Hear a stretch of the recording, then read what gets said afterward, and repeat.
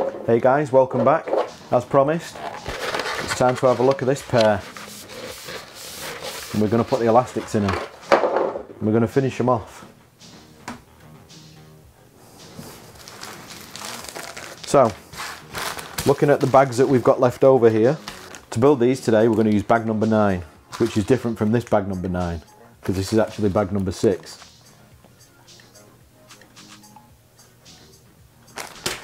So, bag number nine. What have we got? Let's take a look. We've got a piece of one inch black elastic with a snap stitch to it. Times two. Then we've got two more pieces of one inch black, approximately this long. And then we've got two other pieces a little bit shorter.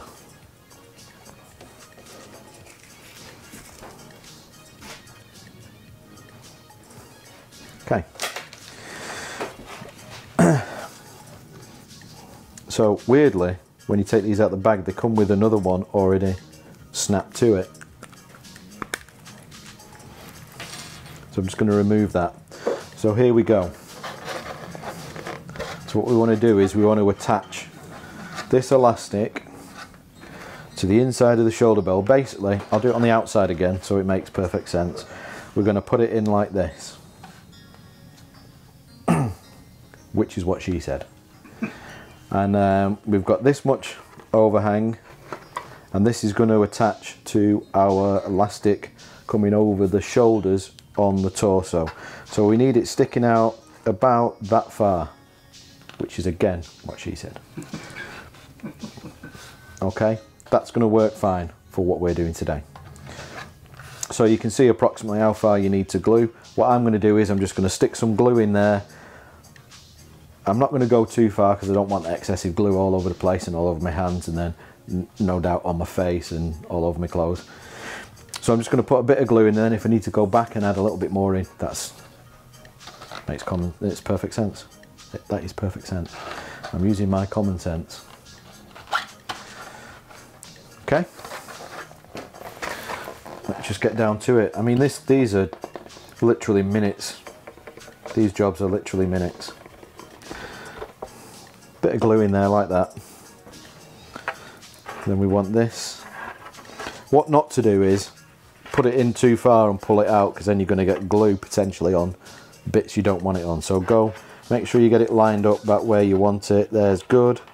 Slide it into position. I think there's going to be a lot of that's what she said jokes today because she also said that.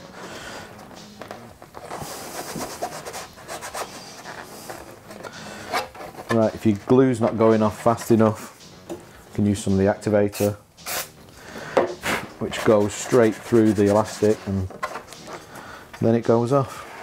Okay, so I've got about an inch there that's not glued down. So just to tidy it up, I'm going to put a little bit of uh, glue on the elastic. Like so. Fold it down, get it into there.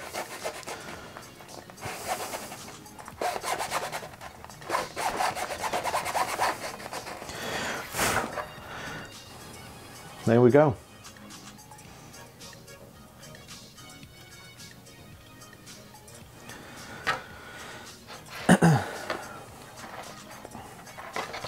Again with all these elastics if you work on the assumption that the elastic is holding it where it needs to be the elastic's movement it, the give is for your movement and it should be returning back to it the elastic not under any tension and being the correct length.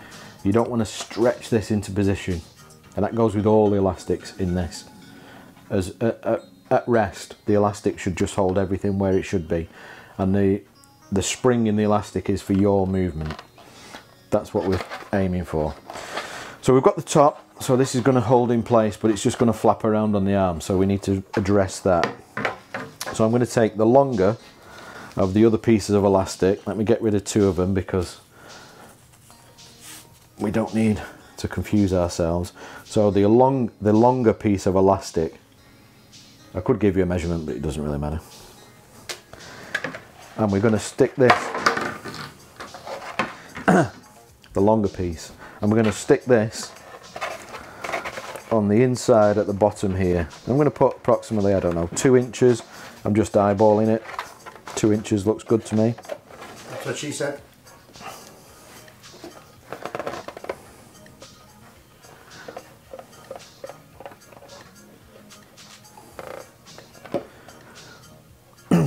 Little tip when you've finished applying your glue, the super glue, especially if it's like this quite thick stuff, that's what she said, then pull it away on the inside. Because sometimes you get a static build up and if you've got a little run of it as it like like a string of it like a pizza, it can pull it down onto areas or surfaces that you don't want the glue to be on. So little tip for you there. That's what she said.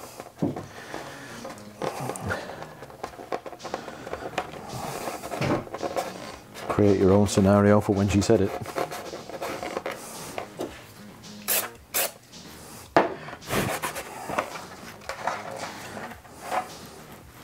Now I'm holding this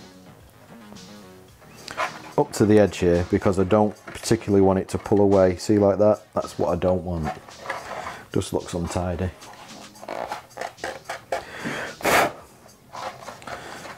So that's had enough time to go off. It's not wanting to stick, so I'm going to add a little bit more glue, just a tiny bit. Less is more. That's what I said. But you don't want to overdo it when you're adding the glue to this to tidy it up. So I'm just holding it in position, making sure it's gone off. Right up to the edge.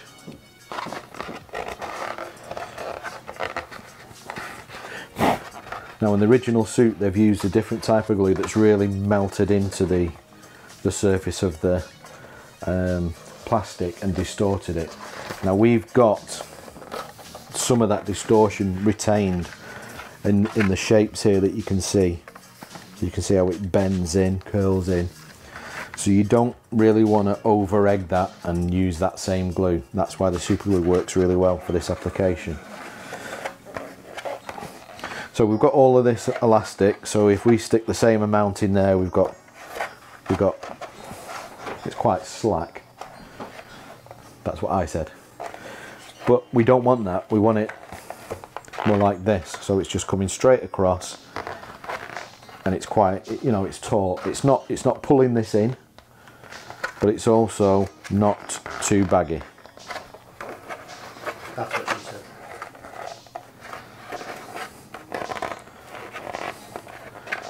Yeah, and that was just her opinion because it turns out it was too baggy. Okay, I put a little mark in there just to get to the end. You don't need to do that, as you know. Use a bit of common and reading between the lines and looking what's been going on. So we want this to just be a nice, tight there. So I've got it in place. And I'm thinking I could go a bit tighter, so I'm just sliding it down. Always do it that way rather than coming out because you don't want to smear glue where you don't want it. Nobody ever wanted anything smeared where it wasn't wanted. Am I right, Andrew? Yeah. That's what she said.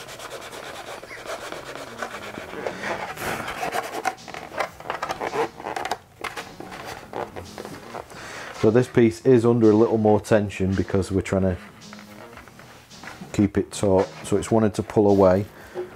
So I'm going to counter that with a little bit more glue and concentrate on that area now.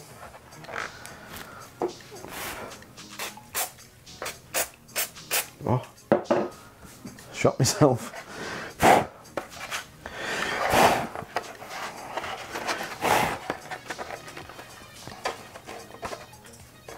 Okay, if you've got any little straggly bits like this that don't look the greatest, you can deal with them. Again, a little bit more glue. I'll do both sides while I'm at it. Just a little spot of glue there. Now, you can use your finger or you can use a little bit of rag or something that you've got hanging around. I'm looking for something, can't find anything. Oh, here's a bag. Just rub it on the edge of the of the elastic just to stop that fraying. It can go in the bin. Oh, in fact, I'll keep it for the next one just in case. And that's what our shoulder bell looks like. That is one pretty much complete elasticated up shoulder bell. so as you can see, the actual components fitting these pieces together is is pretty simple.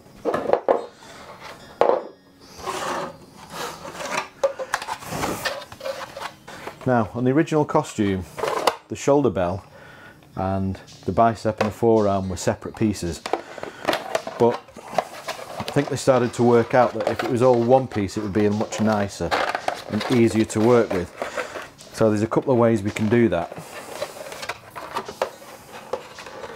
One of the ways we can do that is to use the shorter piece of black elastic that was in your pack and we can put it between these two pieces here. Now one issue you might have with that is if you've got really broad shoulders that this is going to be pulled out by the shoulder uh, by the shoulder bell. It's not going to it's not going to have enough movement. So we tended to stop doing that. But if you wanted to do that simply what you would do is glue glue your elastic between the two pieces. Um, another method and it's the one I usually use is as if by magic the uh, white tank tape appears. If you know why it's called tank tape please do share below. And I think you're epically cool. Not you cat food Rob I mean cat food is epically cool anyway he doesn't need to be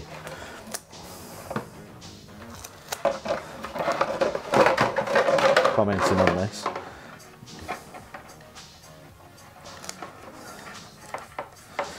Now this method is not for the sort of people who want to spend hours buffing their armour. But I'm not one of those people. I don't I don't like to do that.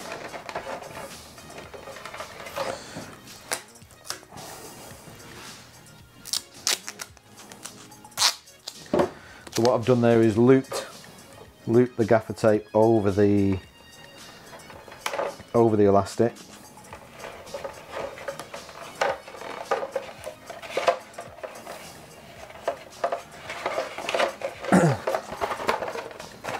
that's holding it together. So this is my preferred method. If you wanted to- to do the clean way, you would just put the elastic in between these, but do, do be careful. You may need to trial and error this if you've got big shoulders, um, because it does, does tend to pull the shoulder bell away, put this under too much pressure and kind of spoil the whole lines of, of your costume. So there we go. Where this is all built up. When the when the torso is ready to accept it, we can pin that in, and we've got the whole complete arm ready to go. Now all I've got to do is repeat this on the right shoulder bell. Um, if anyone is interested, we tend to use the sweeping detail on the shoulder bell rather than the straight detail on the left. But this can be different across suits. As, as standard, that's what we would do. If you're building a specific suit, you may want to check that out, swap them round, or you may need to contact us to get two of the same if it's a very particular suit you're building. If not, as standard, this is what I would do, this is what I'd recommend, this is how they work.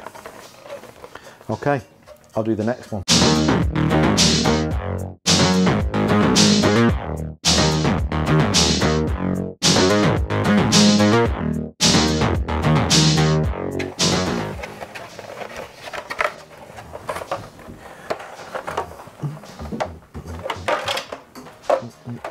there we go arms built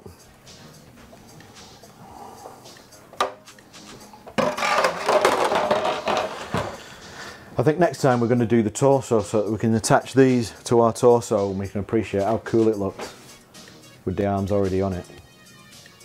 So until next time, you've been watching more How to Build a Stormtrooper.